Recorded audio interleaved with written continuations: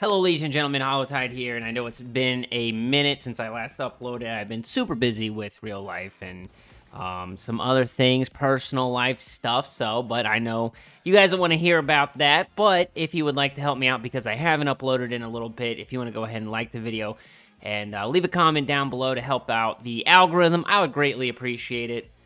Also, FYI, we are so close to 10k, we're under 400 subs, so if you're watching this video You've already seen other videos from the channel. I know this is true, so go ahead and sub.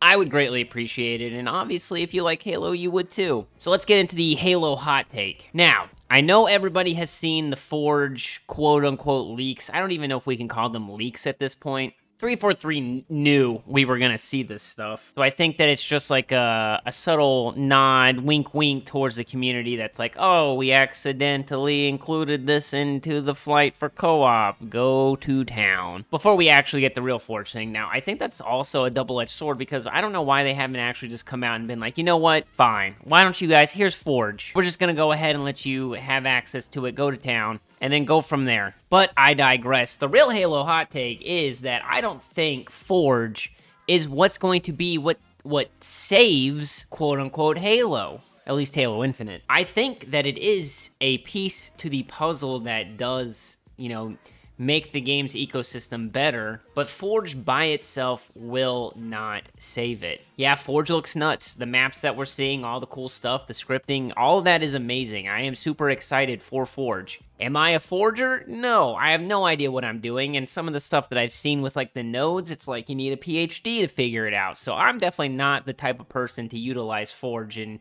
any way that's helpful for the rest of the community. And I think that there's going to be a small set of people that are like that. But even so, it's good for the game. It is. I know there's been like a leaked. I, it's not really a custom browser. It's just like you know the most popular maps and modes and stuff like that. But really, I, I feel like the custom game browser is what Forge needs to have hold its hand in order for it to be remotely successful. If it's not a quick and easy way for you to search custom games, then it's kind of a no point. But again, that's just another thing that helps the, the ecosystem of Halo Infinite survive and thrive. Let me know in the comments down below if you agree with that hot take, or let me know if I'm an idiot and completely wrong. I'm always open to conversation. But that's going to do it for this quick video, ladies and gentlemen. If you enjoyed, make sure you leave a like down below. If you are new to the channel, go ahead and subscribe, and I will see you around the ring.